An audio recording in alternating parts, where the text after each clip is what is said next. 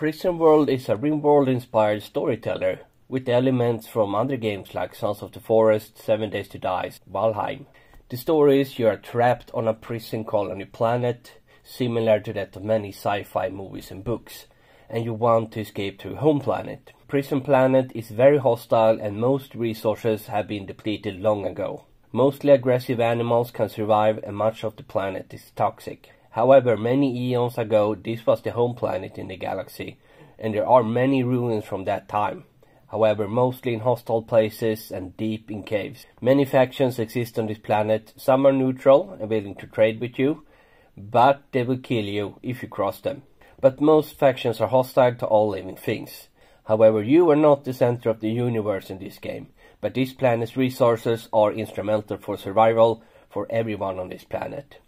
Escape from the planet will take a long time, but once you leave the planet, you need to avoid battle with the galactic military that put you on the prison planet, or you will become just another ruin on the prison planet.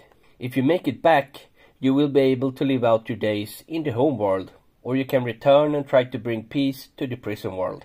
It will not include insects or mechanoids, but many other similar threats. Due to the pollution, many of the clans are mutated and are far from human. Some behave brainless like zombies and cannot handle weapons, but are deadly due to the larger clans. Some are, however, insect-like and move very fast and also have animals helping them in combat. Some are very few, but huge and only do melee combat, similar to the trolls in Valheim. Caves are a big part of the game and exploring them can be dangerous but very fruitful. But this is also where many galactic military bases were located once. If you can find them, you will find treasure. That is, if you can get in. You need to either hack, find a password, or bring explosives. However, the entrances are often well hidden and you need to find clues to know where they are located, or you can just dig randomly. All bases will also have a forwarding address to the next base in line, if the current one is attacked, like in perhaps RimWorld Agent Vault scenarios. This goes in a loop, so once you are back to the first one, you know you have discovered all the bunkers. But there are also marine bases, with entrances located under the water, and then you need deep water sonar to locate them and maybe a submarine or a good diver to get in. Some things will be similar to RimWorld, others won't you won't get a detailed list of skills for every person that entered the map, unless you have found all the galactic military bases which contains files for all the prisoners on the planet. If you don't have that yet, you will have to capture them and interrogate them to know what skills they actually have. And if you want to know what illnesses they have, you have to examine them by a skilled doctor. Why am I calling this Prison World and not Prison Planet? Well, three reasons. Prison World is a less common name are doing it as an homage to RimWorld and it will feature several planets, not just one planet. The main planet will be the prison planet, there will also be the home planet, and the third one is the multi-planet. The multi-planet is for multiplayer. On that planet there will be a finite amount of material, so if one faction, maybe Horde all the plasteel, no one else gets any. They will have to either join that faction, attack them, trade, or build with other materials. It's possible to do a wipe, but then someone has to nuke the whole planet and kill everyone. Only then will a new planet be generated, and then everyone starts from scratch. It will feature traders just like RimWorld, but the only traders that will visit you at first are the saviors. A religious cult that forces you to build shrine, etc., to approve to the gods before they will trade with you. Trade caravans are common, but they do not know until you publish your village on the local charter. The caravans will then include you in the trade route unless hostile villages are nearby or the terrain or weather is too difficult. There will also be a trade fair every spring and every fall where all friendly traders meet. However, the bandits attack this trade fair sometimes, so it can be deadly. Bring guns. Lots of guns. The preferred ending is leaving the planet and returning to the homeworld, but it won't be easy. If you manage to return home to the homeworld, you can continue with the colonists you left behind, but you will also be able to play something like save our ship for the ones that make it into orbit. And it's not over yet. Once you return, you can explore your colonist's apartment and let them continue with their lives. You can also draft them and commit crimes. If you're caught stealing, you'll be in jail for one year. If you murder someone, 10 years. Once in prison, it will be very boring. But you can do rec time, train at the gym, eat meals, or study. However, if you kill 10 people or one guard, you will be sent back once again to the prison planet. What makes RimWorld such a great game? For me, it's the best game I've ever played, and I have spent over 5,000 hours in the game so far. However, I noticed quite early on that most people on YouTube played with mods. I've never modded a game before, but with RimWorld, it just felt natural. Subscribe to anything in the workshop, and the game got a lot more interesting. I don't think I would have spent more than maybe 500 hours with the game if it weren't for all the great mods that made the game more like I wanted to play. RimWorld has over 20,000 mods at this point, and there's I think it's very weird that modders do not get paid at all, either by the either by Unity or the game developers, and have to beg for some money for coffee. So I will make my game pretty unique by giving a percentage of the profit to the people who actually makes mods for my games. Why don't I just make a RimWorld mod then?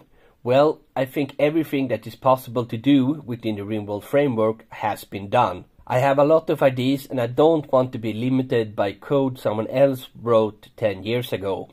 RimWorld also has a lot of limitations when it comes to frames per second, graphics and multiplayer support. I don't plan to make a clone, I plan to make an older brother of sorts. I'm not even sure it's gonna be top down. Isometric is also an option and that would be impossible to do in a mod for RimWorld. How can I be sure people want to play my game and make mods for it? How will I make sure it's fun?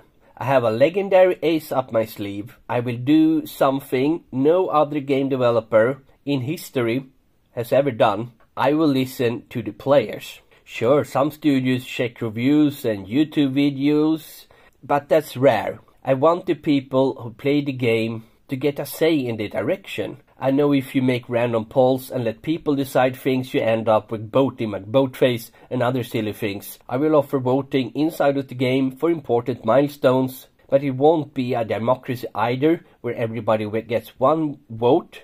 People who have spent thousands of hours in the game will have a stronger say than people who just started. How will I make the game?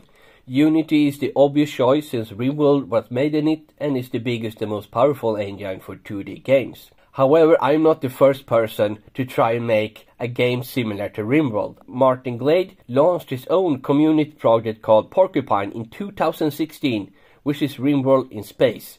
He also did a 72 episode long YouTube tutorial where he explains all the code for this project.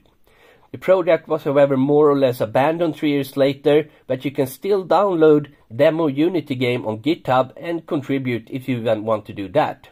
I've tried the game and thought this was a good start for my project, but I think it's missing something essential. What makes RimWorld so good? The game is however basically a city builder with survival combat. But is any of that really necessary? There are many ways to play RimWorld, but many involve building a base. But it's always optional. Most people will probably try the Vagabond Challenge one time or other, don't stay in one place over a year, and then you have to move on. Some people even try the challenge where you never even build a single wall. And there's also a good example of the Viking scenario where you start when you're just about to raid a village. You have absolutely nothing. But if you win that fight, you will take over their village. So it can be played without the building. So it's not really a city builder at its core. What about crafting? You can craft a lot of things, but you don't have to. You can get most, if not all, craftable objects by looting or trading. Then it must be a survival game then. Sure, but you can still play on peaceful and get much of the RimWorld experience, but without the violence. Something you cannot remove from RimWorlds are the stories. I remember this one time, my colonist had a mental breakdown and decided it was a good idea to bang on my chemfuel storage. Whoops. I remember one of the first time I played with royalty and accepted a quest to house 14 refugees. I built them a house with separate bedrooms and heating. I gave all of them new clothes and fed them. All along they had conspired to kill me, and that was the end of the colony. I remember the first time I played the game and wanted to try and hunt something. I thought Mega Sloth. They look like a big monkey or something. Man, was I wrong. It was a monster that killed everyone.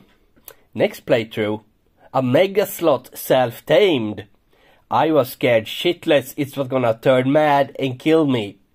All it did was poop on the floor constantly. I remember when I built a colony in the rainforest. I did some mining and some killing and some harvesting and everything was going great. Then an insect hive decided to pop up outside the base.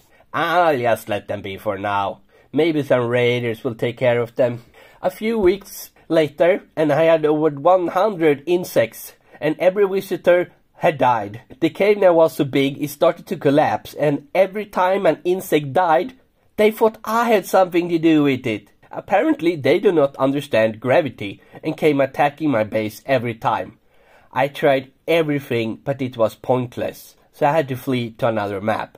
I remember the first time I encountered a psychic ship. What the fuck are Terminators doing on this planet and why are they sleeping? I didn't know what to do, so I just ignored it until my male colonist went crazy with that minus 40 debuff. I built a fucking Disney World of traps and mazes and sandbags between me and those posh Terminators. Turned out it was just Scythers this time, so I I survived and was so satisfied when all my colonists, like a team, banged their psychic ship to pieces. One of the most recent stories was with biotech. I liked the option of my colonists being able to have children. I just had my first and he was nature running and playing a little bit outside my base. I got a notice a bear was hunting one of my colonists.